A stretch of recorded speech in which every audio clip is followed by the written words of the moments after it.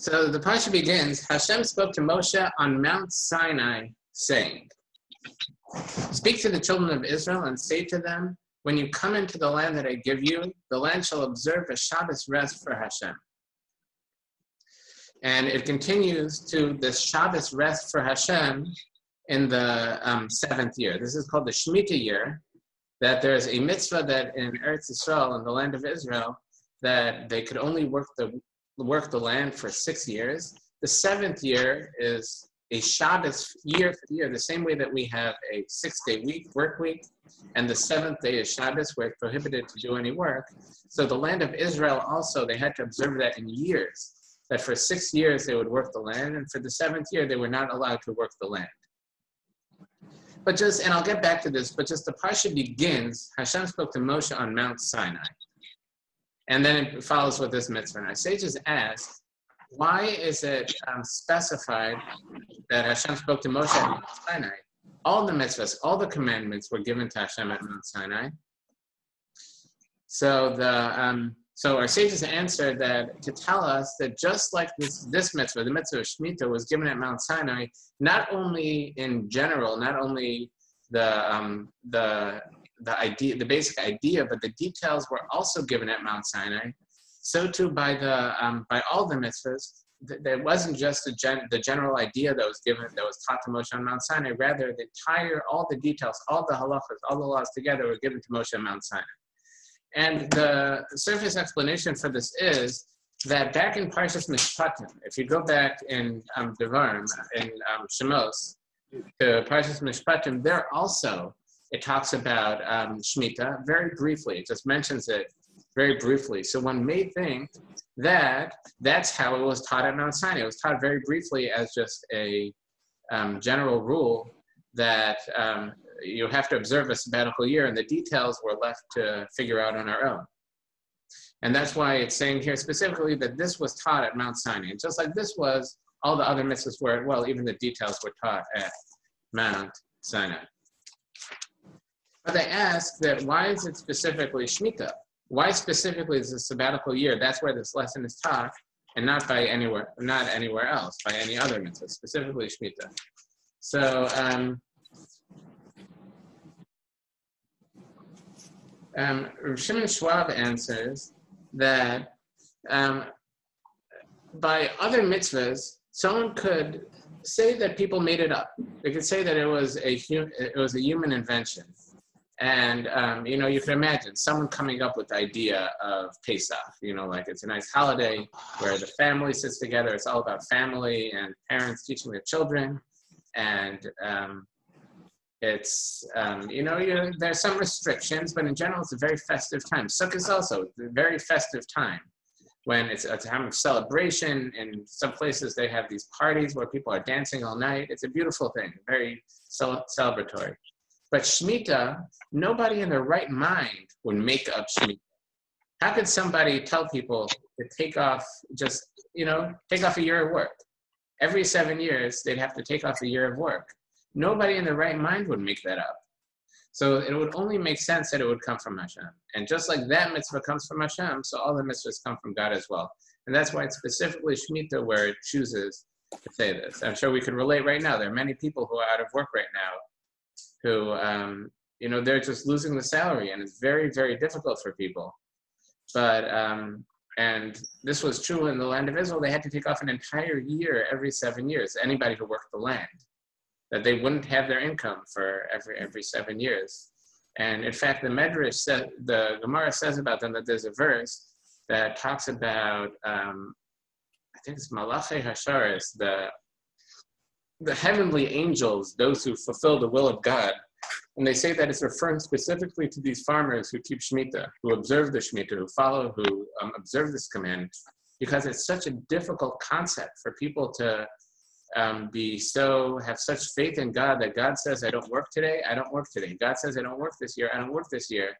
That um, Hashem, that the prophet com- compares them to, to heavenly angels that they just um, they um, sub uh, what's the word?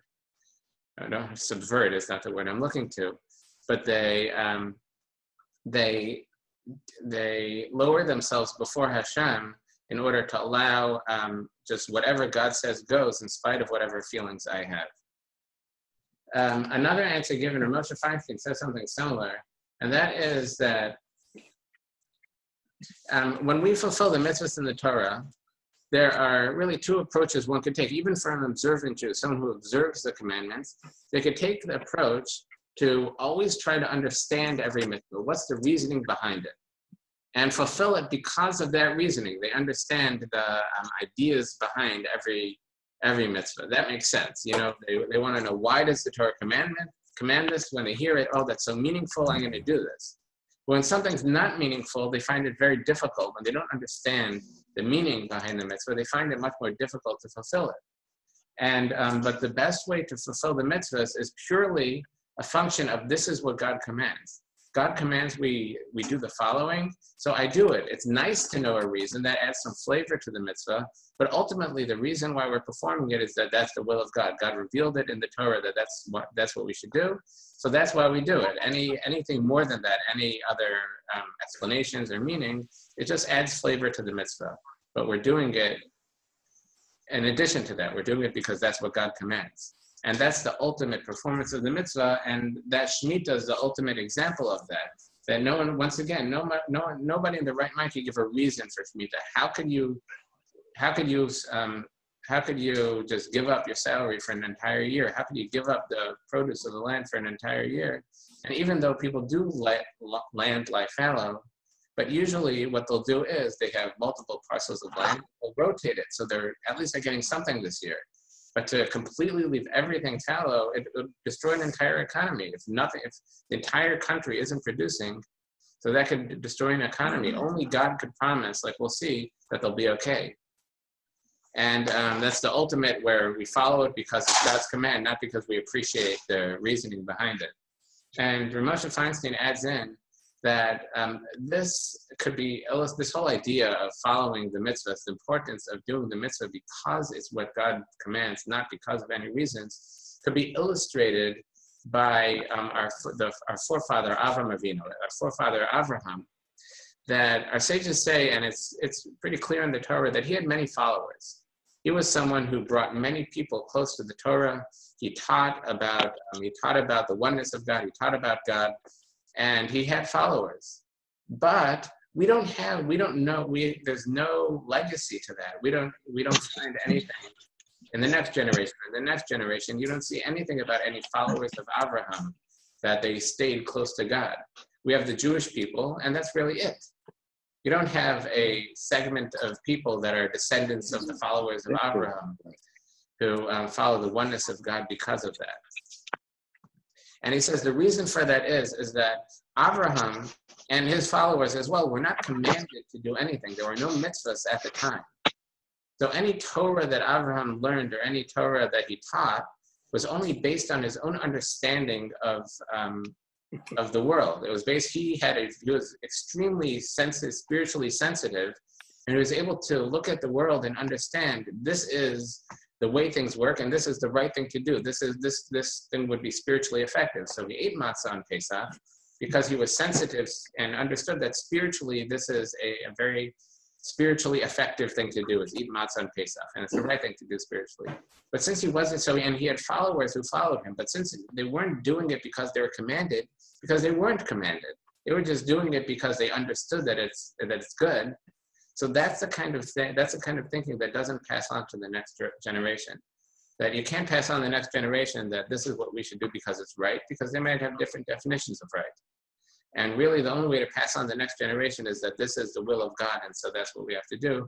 And Avram couldn't teach that because it wasn't commanded by God yet. Okay. The Ramban says a different explanation of why the, it's introduced, why the parsha is introduced, that it was at Mount Sinai. And he says, because we had this mitzvah already in Parshas Mishpatim. We were already commanded in the mitzvah of Shemitah. But um, that came before the um, before Moshe broke the luchos. So what happened is we the mitzvahs were taught to Moshe at Mount Sinai in Parshas Mishpatim, where um, in fact it mentions the um, the mitzvah of Shemitah for the first time, in, in the, which is right after the, the give the Ten Commandments. So that may have even been taught, according to many commentaries, that was taught before the Ten Commandments. Um, before we heard the Ten Commandments, we, we were taught Parshas Mishpatim. So we had already been taught about Shemitah before then. Then, when Moshe broke the tablets, the first set of tablets, he saw the Jews um, worshiping or um, celebrating with the golden calf, and he smashed the tablets. So at that point in time, they um, at that point in time that was a really a destruction of the covenant between us and Hashem. So here it's saying so Moshe went up and and davened Hashem. He pled for um, a return to the um, a return of the Torah, a return to being um, in this covenant with Hashem. And Hashem agreed, and we got the new set of tablets on Yom Kippur. It was actually Moshe brought down the second set of tablets on Yom Kippur. Then the Torah interrupts with the giving of the with I'm sorry with the mitzvah of the Mishkan of the tabernacle to build the tabernacle, which is um, showing the Jewish people that Hashem's still among us even after our sin. Hashem is dwelling among us. Then come the mitzvahs of the of the service in the Mishkan, the different offerings that we would, the different offerings we would bring in the in the tabernacle, and how the Kohanim would have to act. And now we're getting back to those original teachings or those original mitzvahs that we were taught in Parshas Mishpatim. We're repeating them here to say that in spite of the fact that we sinned, the mitzvahs are all the same. So we're saying that he was taught this at Mount Sinai, meaning he was taught a second time at Mount Sinai, that these are the mitzvahs that you do, those same mitzvahs that I taught you by the first covenant. You have the same mitzvahs now when after having gotten the second tablets, after the first one's being broken, symbolizing the breaking of that covenant. That covenant was over. Now we have a second one with the new second tablets, that these mitzvahs are still in place. And he says that's why in the next week, the next parsha, which is the second parsha this week, it's called Parshas Bechukosai. It gives a um, the it talks about the great things that we'll have, all the blessings we'll have if we follow the Torah, and the terrible things that will, will happen to us if we don't follow the Torah. And that's illustrating that the same way that by the first commandments, we, it says that we, we received it with a with an oath and a curse, meaning an oath that we'll follow it and some bad things will happen if we don't follow it. So by the second covenant as well, we're concluding the second covenant with this oath and a curse that the bad things that will happen if we don't follow the Torah that we received, if we don't keep stay keep to the covenant. Okay. So that's the first pasuk, the first verse in the parsha. So it continues in Shemitah. Um, I'll go to verse 2, this is page 697. Speak to the children of Israel and say to them, When you come into the land that I give you, the land shall observe a Shabbos rest for Hashem. For six years you may sow your field, that means plant, and for six years you may prune your vineyard, and you may gather in its crop. But the seventh year shall be a complete rest for the land of Shabbos for Hashem. Your field shall not mm-hmm. sow, and your vineyard you shall not prune. You can't do any work to contribute to the growing of the crops. This is specifically in the land of Israel. I have to be clear with that. Um, in verse 5, the aftergrowth of your harvest you shall not reap, and the grapes you shall you, you had set aside for yourself, you shall not pick. It shall be a land, a year of rest for the land. And the Shabbos produce of the land, meaning the stuff that grows without your work, without you working the land, some stuff will shall be yours to eat for you, for your slave, for your maidservant, for your laborer, and for your resident who will dwell with you, and for your animal and for the beast that is in the land. It shall be shall all its crop be to eat. That it's um, it's um, oh, it's the produce is as if it's ownerless. That anyone could come into the field and eat anything growing. So the owners, let's say someone owns, owns an orchard in the land of Israel, they would be able to eat from the fruits that grow, but anyone else could walk in and eat it as well. So um, it's somewhat ownerless. They, they have actually a system where it's um, controlled by the courts. That you have the Jewish court, the religious, I should say, the ritual courts, not the secular courts in the land of Israel, but the religious courts actually have a system where you could buy through them. And they would pay the owner of the land a salary in order to maintain what he could maintain. And um, that way he does get something. And there's some, it's not what we call a Hefkervelt. It's not like completely chaos. But um, for the most part, um, for the this is called the, the kupa, but for the most part, anyone could take from the just walk into the field and take the stuff there. So in verse 8, you shall count for yourself seven cycles of sabbatical years, seven years, seven times. So each sabbatical year, each sabbatical cycle is seven years, six years of work. The seventh year, you leave the, all the fields fallow. Six years of work, the seventh year, no growing. No, no working towards growing. So now you do seven of those cycles, which is seven years, seven times, 49 days. The years of the seven cycles of the sabbatical year should be for you 49 years. You shall sound a bro broken blast on the shofar in the seventh month, on the tenth of the month. On the day of atonement, you shall sound the shofar throughout your land. In verse 10, you shall sanctify the 50th year and proclaim freedom throughout the land for all its inhabitants. It shall be the jubilee year for you. Each of you shall return to his ancestral heritage, and each of you shall return to his family.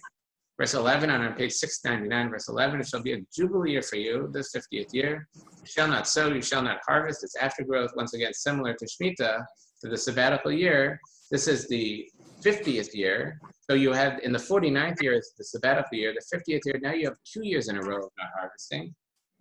The 50th year as well for and in verse 12 for it, it will be as a jubilee year, it shall be holy to you. From the field you may not eat, you may eat its crop in this jubilee year. Each of you shall return to his ancestral heritage. So there's a lot to parse here. The first thing is that on the 14, it says, says you shall sound, the sound a broken shofar blast, as verse 9, on the shofar in the seventh month, on the 10th of the month. We tend to associate the shofar with Rosh Hashanah, the first of the seventh month, of the month of Tishrei. Here, they're blowing the shofar on Yom Kippur of um, on Yom Kippur of the of the Jubilee year, and I think it's who did I write this from? Um, um, I, I, saw from someone that one of the reasons behind this is that um, the shofar is a symbol towards the, our receiving the Torah. That when we, um, the Torah says that when we received the Torah, there was a shofar, shofar blast that was um, continuous and very, very powerful shofar blast when we received the Torah. And if you look at the Musaf prayers of, of Rosh Hashanah, You'll see that there's a section of shofars, there's 10 verses that talk about the shofar, and most of them talk about the receiving of the Torah. And because, as I mentioned, we got the second set of tablets on Yom Kippur, Yom Kippur is really a day of us receiving the Torah. That's when we got the current luchos, the current covenant of the Torah we got on Yom Kippur. So it's a time of the blowing of the shofar. And um, just something I saw about this idea of the the connection between the shofar and Torah is that um, a sound, which is the, what the shofar is all about, it's, it's, this, it's a sound producing horn. So sound is an amazing thing. This is more of like a Kabbalistic view, is that with, with sound, you could have a thought in your own head and or an idea in your head, and you could put it in someone else's mind. It's an incredible thing the fact that that's how we communicate. We communicate through talking through sound coming from our mouths to someone else's ears. We have a thought in our brain and we could convey that to someone else's brain. Just by making sounds out of our mouth it goes they hear it with their ears and interpret it with their brains. Now they know the idea that we had and um, it's almost you know now we have computers can do that you could say information in one computer and you press send and it goes to another computer. It's an amazing thing. And we could do it just by opening our mouths and talking, that we move an idea from our minds to someone else's mind. And that's what the giving of the Torah was taking the thoughts of Hashem in a sense. It was communicating to the Jewish people, taking the thoughts of Hashem, which, through which Hashem created the world, and transporting it to us. That now we have access to that. And that's represented by the shofar sound. By the sound of the shofar is the sound of a, ideas coming from the spiritual realm, from Hashem, down to us.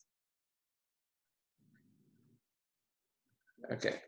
Um, and another thing they say is that um, it says with the you blow the shofar throughout the land, and proclaim freedom throughout the land for all its inhabitants. That the shofar, the Torah, brings us freedom from the Yetzer Hara, from our evil inclination.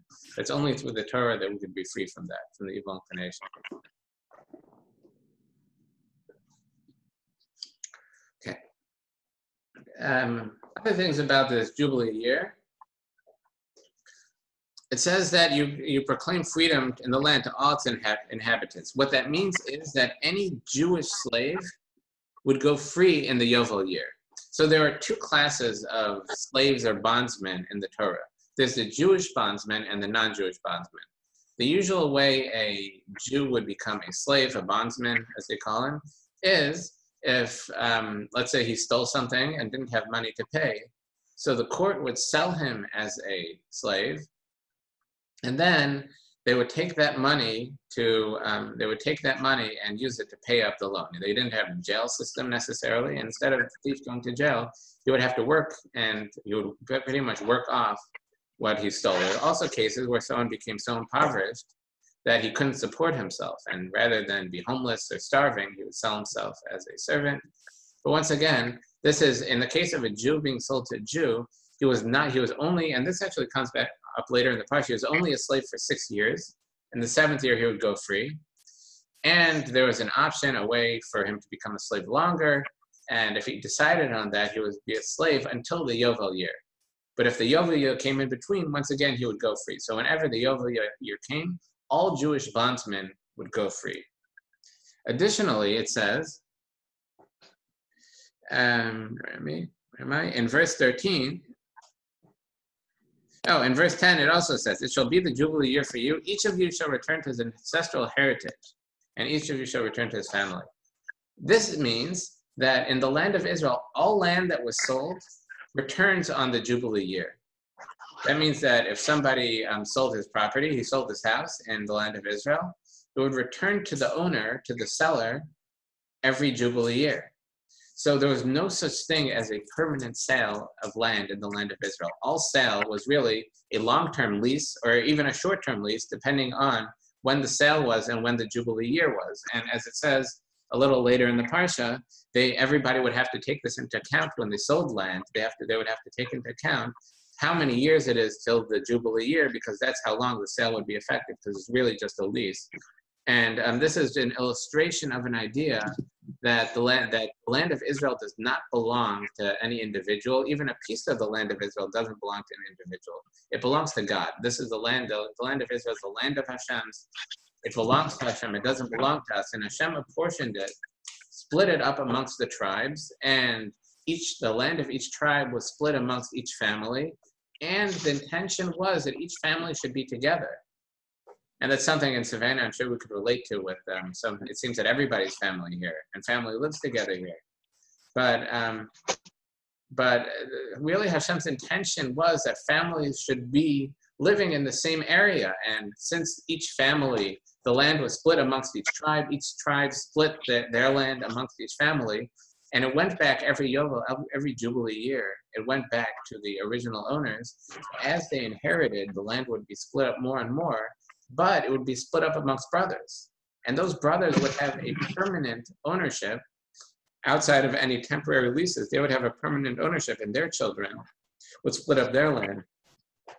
So they'd have a permanent ownership outside of some leases that would that would end. So really, families would end up living together because of this, which is a beautiful thing. Okay, and um, moving on a little bit. In verse 14, Page 699, verse 14, it states, When you make a sale to your fellow or make a purchase from the hand of your fellow, do not buy from your fellow. Um, I'm sorry. Um, do not aggrieve one another. Aggrieve, do not oppress one another. And it continues in verse 15, according to the number of years after the Jubilee year shall you buy from your fellow, according to the number of crop years shall you sell it. According to the greater number of years shall you increase its price, according to the lesser number of years shall you decrease the price, for he is selling you the number of crops. So um, here the Torah is saying, do not oppress them. Our sages understand this to mean, do not overcharge someone and do not underpay somebody, which means that this is also very relevant now, that at a time where there are shortages in certain things, shortages in, um, in protective equipment, shortages in even um, toilet paper, then there are people selling things at tremendous markups just because they can. They're stockpiling and selling at tremendous mark, markups. The Torah is saying that it's prohibited to sell above market value, meaning you can mark things up based on what you bought it for, but you can't sell it. Like if you buy wholesale, obviously you could mark it up to sell it retail, but you can't sell something significantly above market value.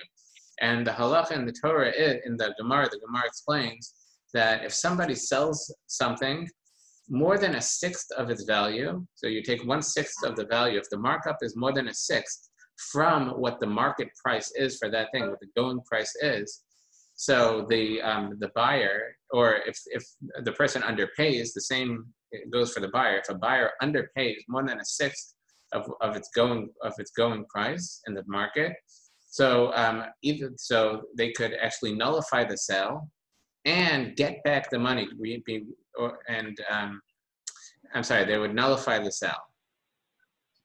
If if they marked up less than a sixth, they could re- be reimbursed for the amount of the markup.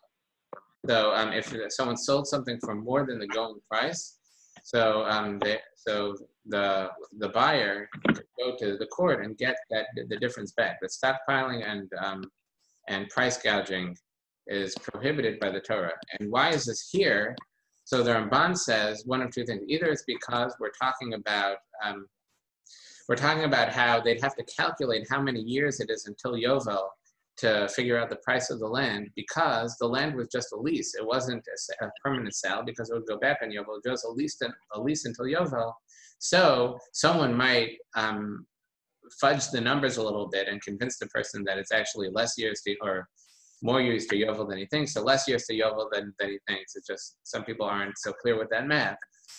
So um, he's telling him you can't be very, that's prohibited. And um, I think the Ramban says that in addition, the Talmud says that these laws of, I know, these laws of overcharging and underpaying do not apply to land. That when it comes to real estate, when it comes to land or any, like a house, anything attached to the land, so then um, the laws, you can't nullify a sale because a person overcharged or underpaid because um, it seems to be understood that land, the amounts are very clear. It's very um, easy to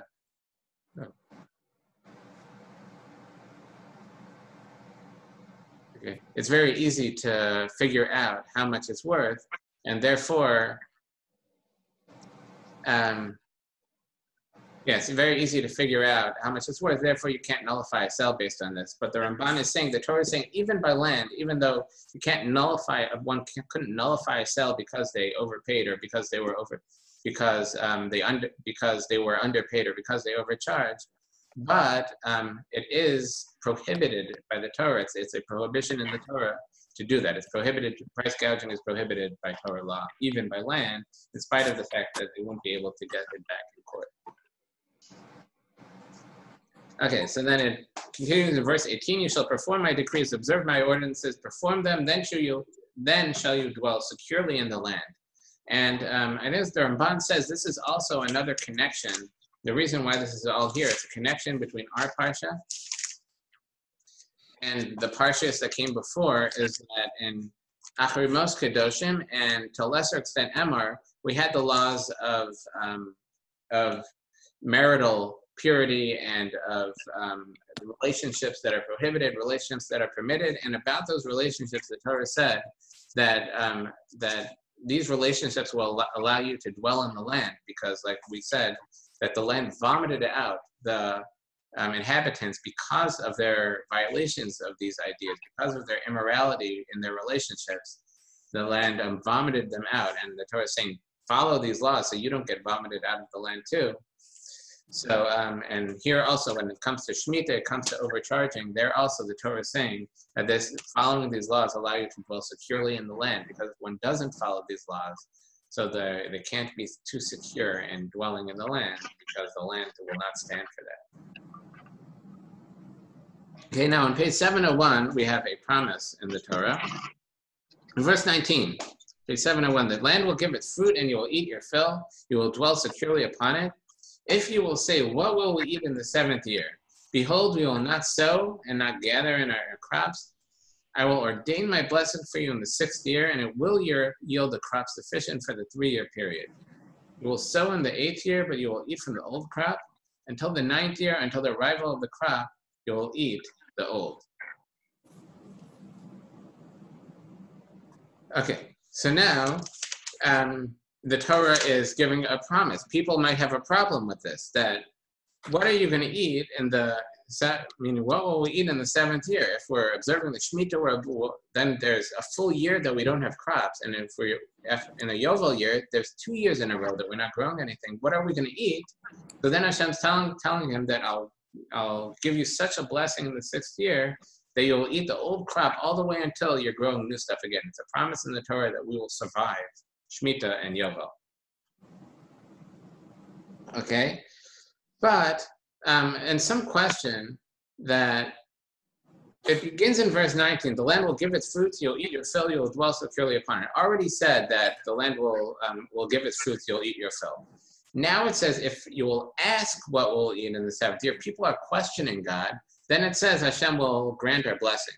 What if people don't question god will we not have that blessing is the questioning of god what grants the blessing meaning it very well could have said that without the question, it just could have said that I will grant your my blessing so that you'll never have not you'll never have nothing to eat because of your fulfillment of these mitzvahs. But it brings the question as if the question is the cause of God giving us this blessing. And um, the commentators say, Moshe Feinstein says that in fact, this blessing isn't so much a blessing. That before it says in verse 19, the land will give its food, you will eat your fill. Then it says, if you if you will say, if you will question God and say, what will we eat in the seventh year? Behold, we will not sow and not gather in our crops. Verse 21, I will ordain my blessing for you, and it will yield a crop sufficient for the three-year period. Meaning you'll have lots of stuff. Lots of stuff will grow, and that lots of stuff will be enough, will be sufficient for you to eat. And there's a concept by um, the Meshech Chochmah talks about it at length, that the, the ultimate blessing of Hashem is not a blessing of quantity. The ultimate blessing of Hashem is a blessing of quality. And um, it's true about everything that um, the blessing of Hashem is better to have a little bit that goes a long way than a lot that goes just that far. And that's true about, in this case, it's true about produce as well. Before the question in verse 19, it says, The land will give its fruit, you will eat your fill. Meaning, that the land will give whatever it'll give, but it will last for you. It'll be enough. You'll be filled. It'll the or the Gemara uses an expression that it'll be misbarech b'meav. It'll be blessed in your in your stomach. That it will be sufficient. You won't need to eat. The food will be so nutritious, so filling, that you won't need more to eat.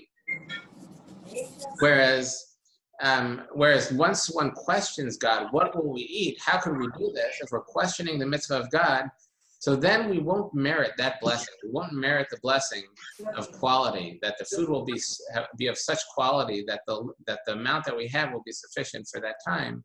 Rather, we'll need the quantity. We'll need lots of food in order to be enough to fill us, in order to be sufficient for the people to be fed. And I think he comments that the question that they're asking is, if you'll see, what will we eat in the seventh year? That's the wrong question to ask the seventh year, it's obvious what you'll eat. You'll eat the fruits of the sixth year because that's always how it works.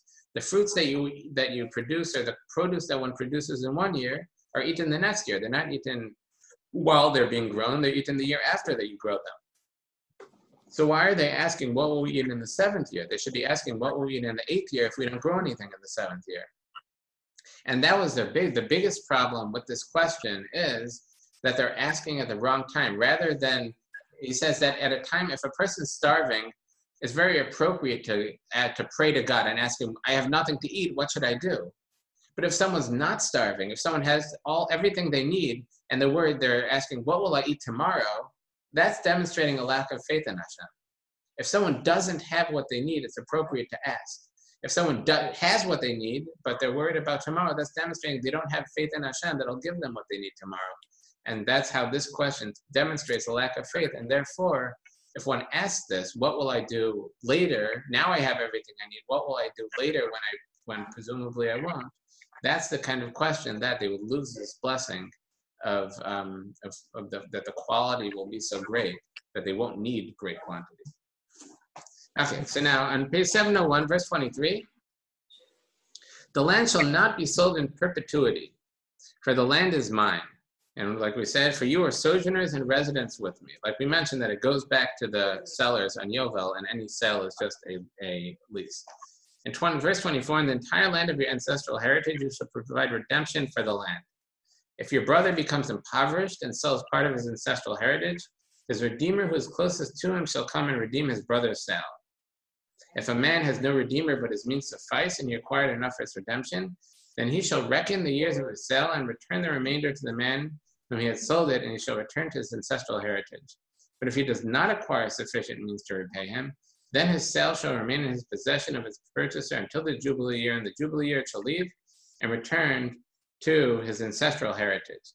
So here it's saying that um, after someone sells, a, sells their land, they have rights to buy it back. Once again, this is in the land of Israel. And um, one second.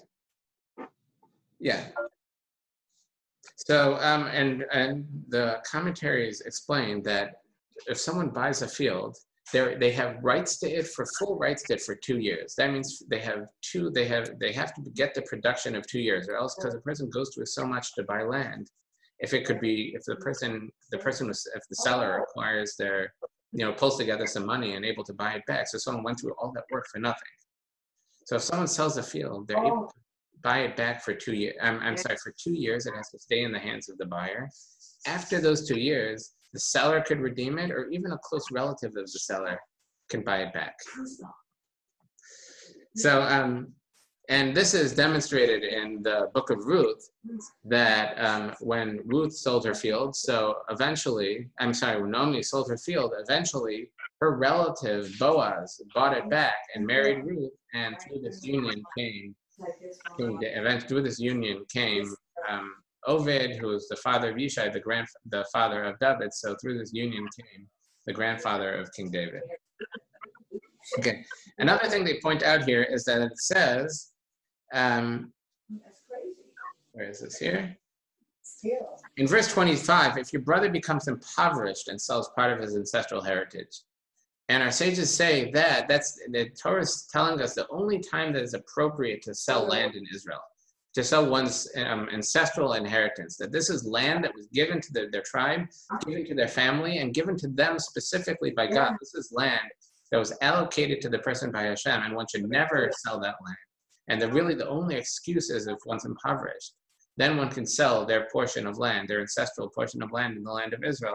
But otherwise, otherwise it should never be sold. Okay, so that's a regular case. So now in page 20, verse 29, still in page 701, if a man shall sell a residence house in a walled city, its redemption can take, take place until the end of the year of its sale. Its period of redemption shall be a year.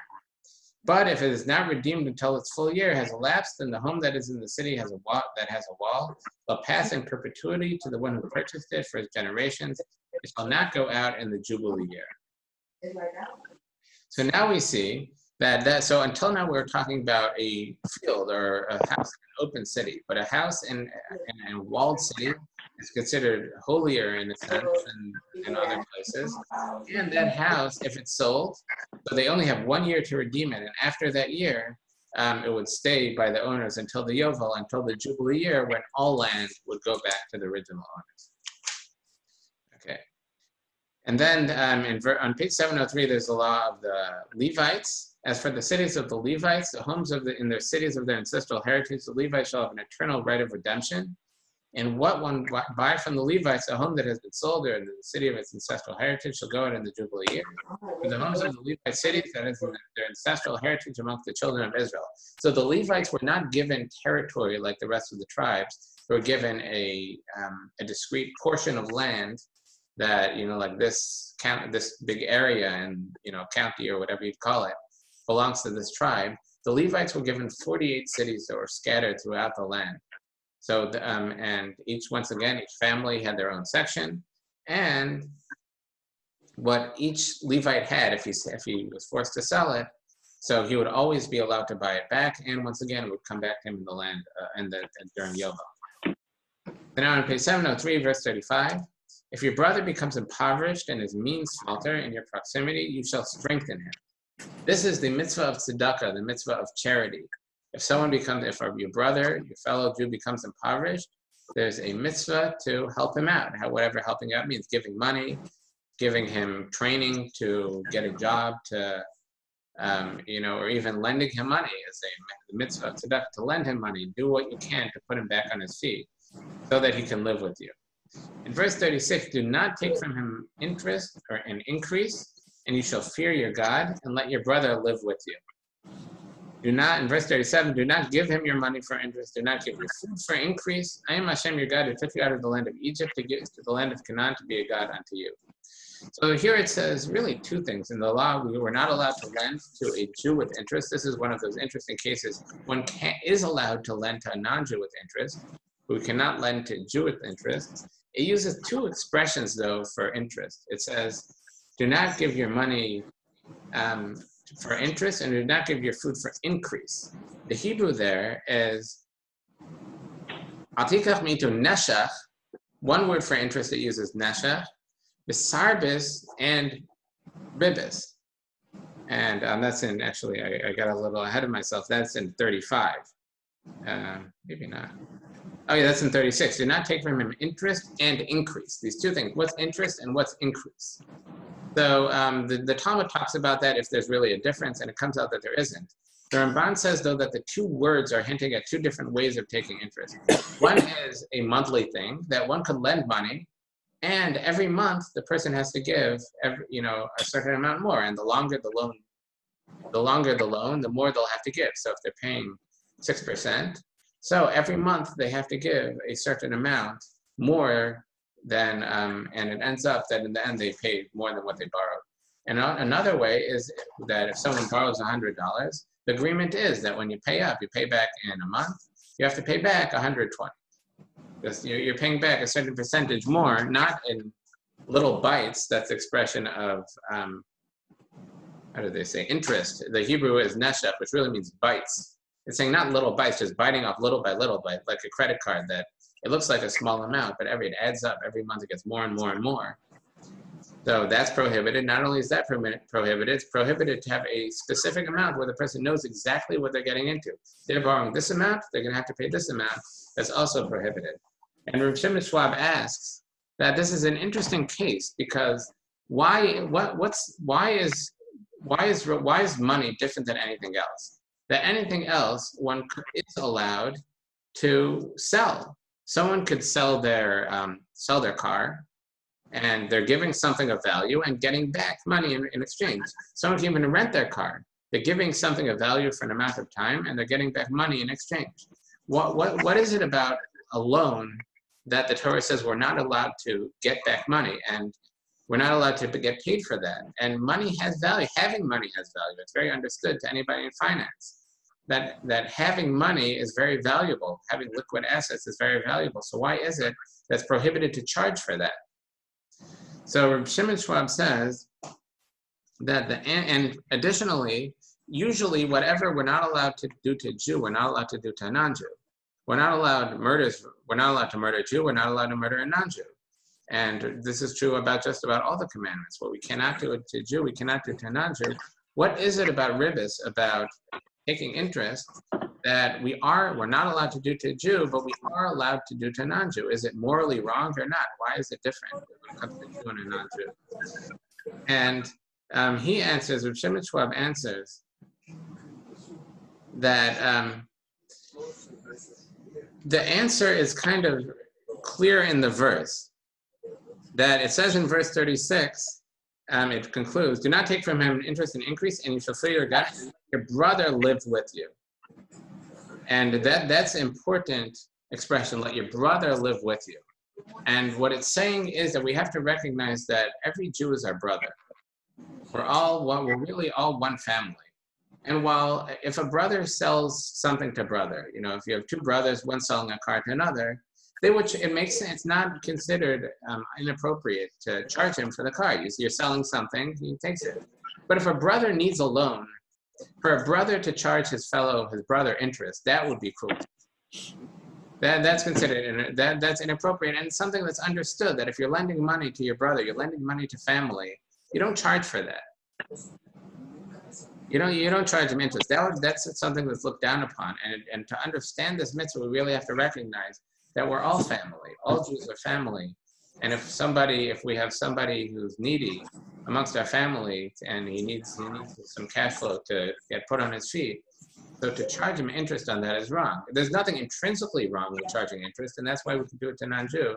But since we're all family, that's why it's wrong to charge to our fellow Jew. Okay, so now in verse 39, the bottom of page 703, it gives some laws about our um, about the Jewish slave and about how we have to um, treat him properly. We have to treat him very delicately and very with kid gloves. We can't oppress him. We can't work him too hard.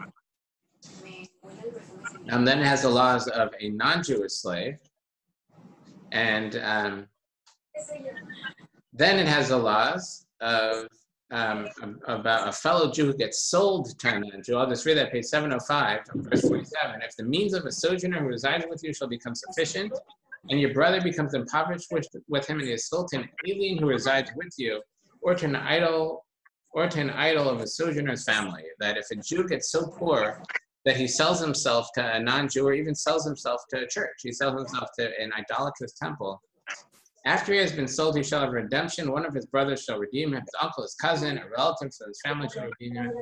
But there's a mitzvah to be redeemed. It's a mitzvah on all relatives to redeem him if he's sold to a non-Jew, because well, he can't keep mitzvahs properly if he's not in control of his own destiny and his own actions.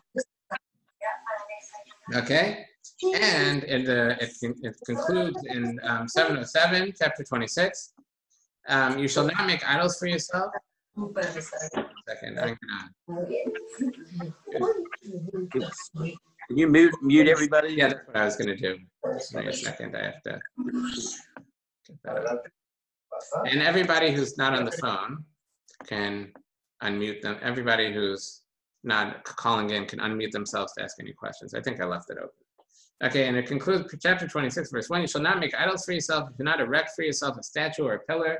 And in your land you shall not emplace a flooring stone upon which to prostrate your oneself. For I am Hashem your God. My Shabbos shall you observe, and my sanctuary shall you revere. I am Hashem. That's how this parsha ends. The next parsha we read this week is Parshas Bechukosai. Just a quick overview. Overview. We usually read, and when we read it in the shul, it's read quickly. So I'll give a quick overview of the parsha and maybe a few comments. On page 709, Parshas 709, Parshas Bechukosai. It begins, if you will follow my decrees and observe my commandments, perform them, then I will provide your rains in their time, and the land will give its produce. The tree of the field will give its fruit. And it continues with these great things that will happen if we follow the Torah. And then afterwards, on page 711, verse 14, it says, If you will not listen to me will not perform all of these commandments, if you consider my decrees loathsome, and if you're being rejects my ordinances so as not to perform all my commandments, so that you will know my covenant, covenant, and I will do the same to you. I will sign upon you panic, swelling, lesions, burning fever, and terrible things that will happen if we do not fulfill the commandments. And um, just uh, I just want to go back to the beginning. It says, "If you'll follow my decrees, observe my commandments, and perform them." In verse three, at the beginning of the parsha. So um, three things here there: follow my decrees, observe my commandments, perform them. So what does follow my decrees if not observe my commandments and perform them? I say to say that means that we work hard, we toil in the study of Torah. And I've spoken about this in the past that the Torah, when, with Torah, it's not the amount that we understand that counts. It's not the, um, it's not how much we delve, we manage to delve into the depths and how deep we understand. The importance is the toil that we, the work that we put in. Whereas by other things, we're rewarded for, um, by other things, especially in the world, in the physical world, that we're rewarded for the value that we provide for the, the results. When, when it comes to the Torah, we're not rewarded for the results that we attain, we're rewarded for the work that we put in. And that's the you follow my decrees means we toil in the Torah.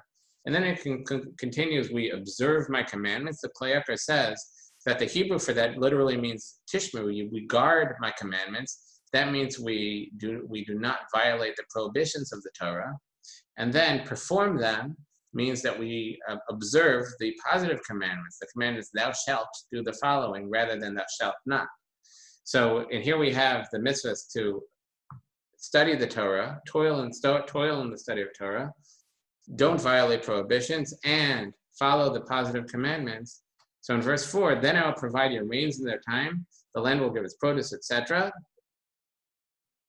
In verse 6, I'll provide peace in the land. You'll die, lie down with none to frighten you. And in, where is it? Um, you will eat very old grain, remove the old to make way for the new. I will place my sanctuary sanctuary among you, and my spirit will not reject you. So um, the Kli Yakar says that there are three really blessings corresponding to the three different ways, three different ways we observe the Torah. That first, as a reward for toiling in the study of Torah, it says, um, I will provide your rains in their time, the land will give its produce. That the Torah is compared to water, the Torah especially is compared to rain. That the same way that God um, kind of sends down the Torah understanding and Torah, the inspiration to understand the Torah to us, like drops from the sky, as is alluded in Parshas Haazinu, that our sages interpret the discussion about the rain coming down to us as the um, Hashem sending down understanding of the Torah. So as a reward of our toil in Torah, Hashem sends us the rain in the proper time. We have the proper rain to be prosperous. So that's the first set of blessings. Then in verse 6, I'll provide peace in the land. You'll lie down with none to frighten you. That's a reward for, um, for not violating the prohibitions. That by not violating the prohibitions, we have peace in the land and bad things don't happen to us. That's lack of, that's uh, kind of bad things not happening rather than positive good things do happening. Then in verse 10, um, verse really 11, I'll place my sanctuary among you, and my spirit will not reject you. I'll walk, amongst you. I'll be a God unto you. That's by observing the positive commandments. So we're raising our holiness by actively fulfilling the will of Hashem. And as a reward, God joins us and God graces us with his presence amongst us. Okay, and like I said, following this, it gives terrible things that will happen if we do not follow the Torah. And um, over and over it says, if you'll behave casually with me. Um, where is it? So uh, just an illustration in verse 21, if you behave casually with me on page 713 and refuse to heed me, then I shall lay a further blow upon you, seven ways of like your sins. Verse 23, um, if, if despite those you will be chastised towards me and you behave casually with me, Verse 27, if despite this you will not heed me and you will behave towards me with casualness. And um, so over and over it says the, the main sin that we're doing is behaving casually towards God. What does that mean that we're behaving casually? This is the source of all the problems that we're behaving casually towards God. So the commentaries interpret this means that um, we may be fulfilling the mitzvahs, but we're fulfilling them out of convenience, not out of a sense of, of obligation. That means that, oh, I, you know, I happen to be um, free the Shabbos, so I'll sit down to a Shabbos meal and I'll, I'm not, I'm not observed. So basically when it's convenient and when we feel like keeping the mitzvah, we'll keep the mitzvah, but because we feel like it, not because it's something that we have to do, not because this is what, this is the will of God, this is what I have to do, Therefore, I'm doing it no matter what, and we'll have to find a way. But if we don't find a way, I still can't buy. I can still can't violate it. But if someone fulfills the mitzvah out of casualness, that means that they're doing it because of convenience, not because and because that's how they feel at the moment, not because of obligation. That the Torah is saying is perhaps even more destructive than just not following. And in fact, it states in verse 40, page 715, says after all these things that will happen, all these awful things that will happen, it says, then they will confess their sin and the sin of their forefathers for the treachery which they betrayed towards me, and also for having behaved towards me with casualness. I too will behave towards them with casualness, and I will bring them in the land of their enemies. Perhaps then their unfeeling hearts will be humbled, then they will gain appeasement for their sin. And our sages, all the commentaries ask, it just said they will confess their sin and the sin of their forefathers for the treachery which they betrayed me, also for having betrayed towards me with casualness. Why following that confession? It seems they're they're repenting. Why only why after that is Hashem saying, I will also punish them more? They have just confessed their sins, they recognize what they did wrong. And um, someone answers, I don't remember where I saw this, that um, the problem here is that they're confessing the wrong thing. It says that they're confessing their sin and also that they behave towards that uh, they behave towards me with casualness, meaning that they took the mitzvahs lightly and only did them out of convenience. And every and that's a backwards. They're looking at everything backwards. They think the problem is the sins that they did, and their mindset is secondary. But that's backwards. Their mindset is the problem, and the sins are secondary. Meaning the mindset that you know I'll do I'll, I'll do the mitzvahs when it's convenient. I'll do the mitzvahs when I'm feeling like it. And if I don't feel like it, I won't do it. That's the bigger problem. And the fact that they violated is just a um, is just an effect of that. So by them confessing the sin and just secondary, my mindset was also wrong. Hashem's demonstrating you're not ready yet. If you don't rec- if they don't recognize that they're not ready yet and they're still punished. But the parsha ends with a comfort on page 717 and verse 42. After this tshuva, after we repent, um, I will remember my covenant with Yaakov, also my covenant with Yitzchak, and also my covenant with Avram. I will remember, I will remember the land. The land will be bereft of them, and it will be appeased for sabbaticals having become desolate of them. And this is another, another illustration of that by not follow, following the mitzvahs of the sabbatical year, that will cause us to be um, to be vomited from the land and they must gain appeasement for their iniquity because they were revolted by my ordinances, because their spirit rejected by my decrees. But despite all this, while they'll be in the land of their enemies, they'll not have been revolted by them, nor will I have rejected them to obliterate them, to know my covenant with them. For I am Hashem their God. After the first covenant, in a sense, was broken, now Hashem's telling us that this new covenant has a built in out, in a sense that whereas the first covenant, the first tablets were expected to be perfect, we, we got it in a sense of perfection. The Jewish people were perfect at that moment that we received the first set of tablets. And when we sinned with the golden calf, so that covenant was broken. We lost it. Whereas with the second tablets, it was given in a time of tshuva, in a time of repentance. We had sinned, we repented from our sins, and through that we received the second covenant. So the second covenant has this idea of repentance built in, and here it's saying, in spite of the sin, I will not obliterate them. And the covenant still stands because built into the covenant is a clause of tshuva, it's the clause of repentance that we could always come back. And I remember them for, the, for them the covenant of the ancients, those whom I have taken out of the land of Egypt before the eyes of the nations to be God unto them. I am Hashem.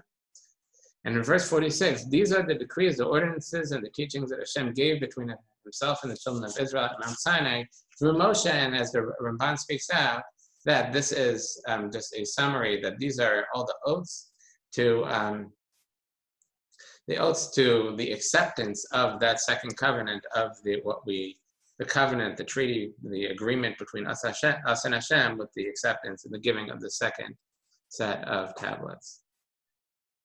Let's see.